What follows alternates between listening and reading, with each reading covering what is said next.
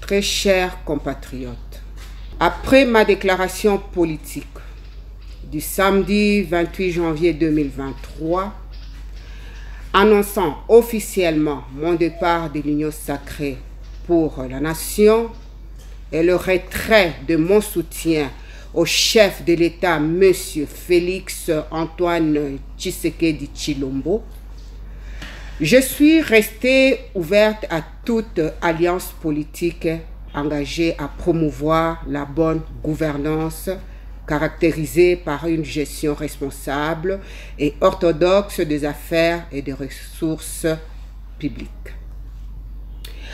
À la veille des élections prévues le 20 décembre 2023, force de constater que le régime en place cherche à se maintenir coûte que coûte au pouvoir, en dépit de son bilan sombre et chaotique ayant suffisamment démontré ses limites et son incapacité à relever des défis tant attendus par la population, j'annonce mon soutien total à la personne de M. Moïse Katumbi Chapwe, candidat numéro 3 à l'élection présidentielle prochaine, afin de faire échec à ces plans macabres contre l'avenir de notre pays.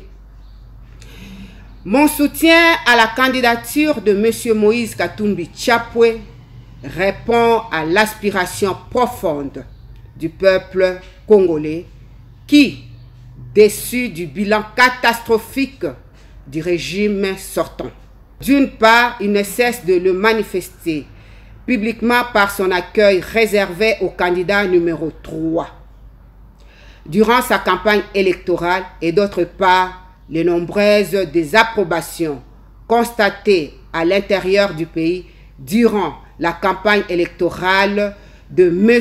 Félix Antoine Tshisekedi Chilombo, candidat sortant à sa propre succession.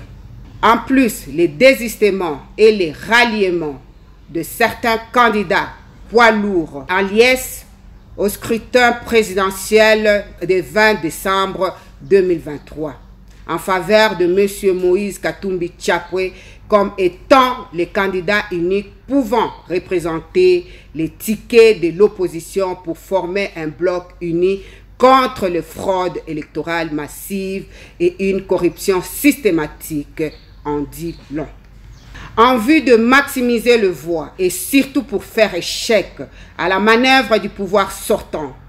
Il est impérieux de sauver notre nation en danger d'un régime prédateur agissant au détriment de sa population qui continue à croupir dans la misère et la pauvreté en dépit de nombreuses richesses que regorge notre cher et beau pays, la République démocratique du Congo.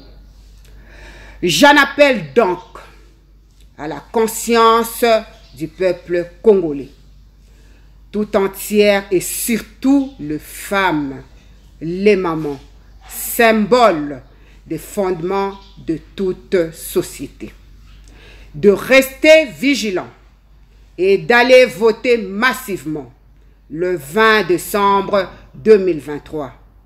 Monsieur Moïse Katumbi Chapwe candidat numéro 3 pour barrer la route à la fraude électorale bien planifiée et obtenir le changement tant attendu dans notre pays.